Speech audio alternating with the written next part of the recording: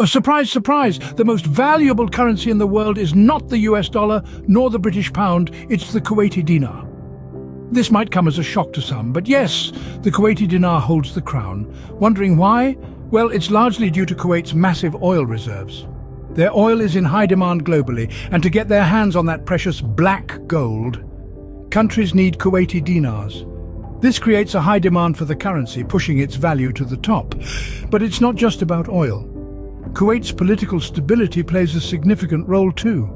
A stable government tends to mean a stable economy, which in turn means a stable currency. And let's not forget that the dinar is tied to other robust currencies, providing an extra layer of security. So, the next time you think of powerful currencies, remember to consider the dinar, the reigning champion. But no throne is secure forever. Could there be a shift in power on the horizon for the dinar?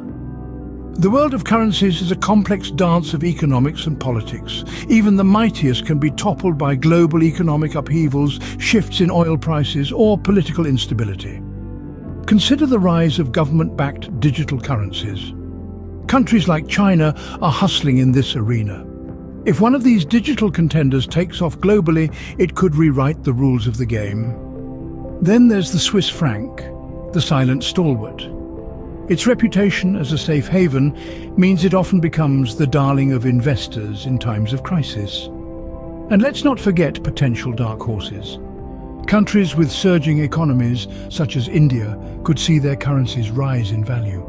The battlefield of currencies is ever-changing. Who knows who the next champion might be? And of course, how can we forget Bitcoin, the wild card in the deck of currencies?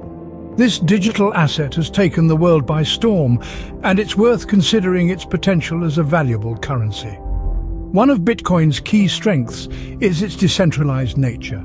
It's not tied to any specific country or government, giving it a level of freedom that traditional currencies just can't match.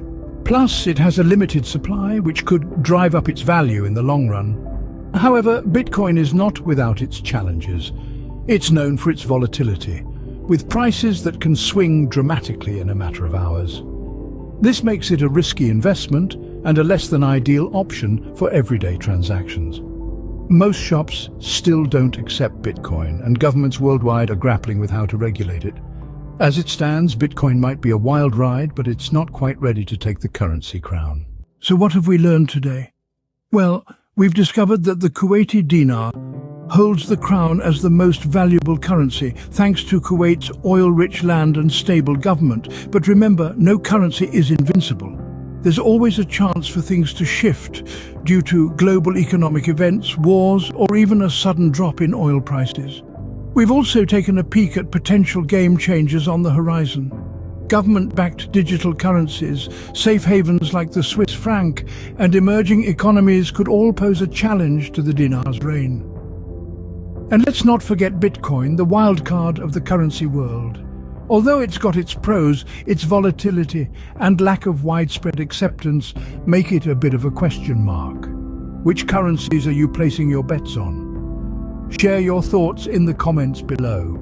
And don't forget to hit that likey and subscribe button for more surprising financial facts. Until next time.